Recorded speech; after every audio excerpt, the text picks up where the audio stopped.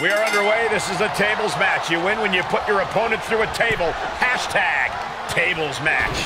Saw it coming and got out of there. Stop gloating and put your attention back to the match.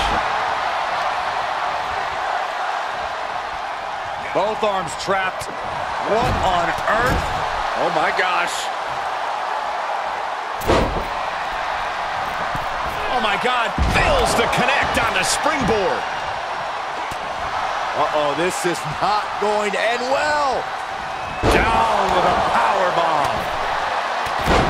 Byron, what could be the deciding factor in a tables match setting?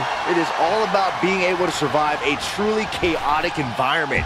You need next-level awareness to avoid accidentally losing the match. And some of the biggest upsets in WWE history have occurred in tables matches. I think it might happen again here tonight. Reciprocating the initial reversal. DDT. From the top. Diving double axe handle. Out of the ring. What's his plan here?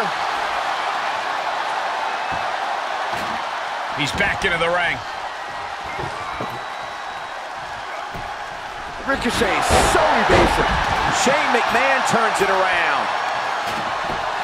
Just punched him right in the mouth. Relentless. Enough already. Just whipped into the table. Quick thinking pays off.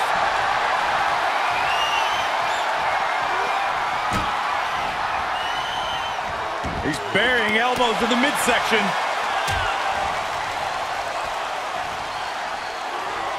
Uh-oh. Oh, put through the table. What an ending to this tables match. Here is your winner,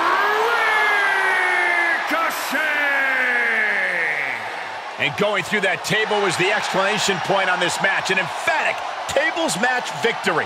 A truly unforgettable match. All four superstars should be proud of their efforts here tonight.